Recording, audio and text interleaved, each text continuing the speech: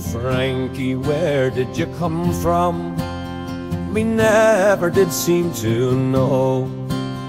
You just appeared amongst us, and you just seemed to come and go.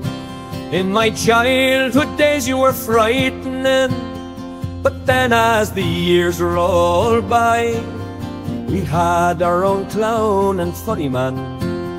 The shed was your home nearby.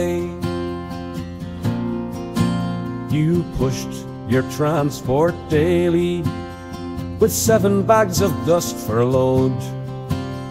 The barrow you got from the station because the old railway had closed.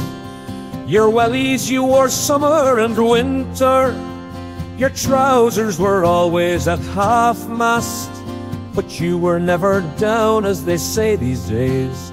You smiled and you laughed and you laughed. Your magic was uncomplicated. You made the cap jump on your head.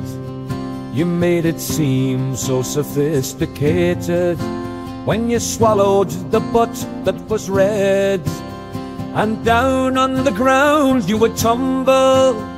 The dust from your shirt it would spill. Your fans would gather and applaud you, and the shillings poured into your till. The circus made its annual visit. Next morning you were sure to be gone. Was it to Carlow you headed? Or was it just Bawn? Was it Duffy's or Fossett's or Courtney's? The circus life lured you away, but you always return to Belturbet, where we hope you will always stay.